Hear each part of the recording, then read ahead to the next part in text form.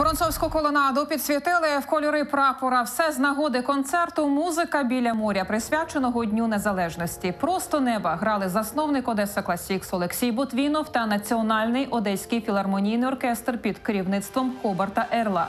Виконували вічну світову та українську класику. Послухати і побачити це дійство мали нагоду усі охочі. Вхід був вільним.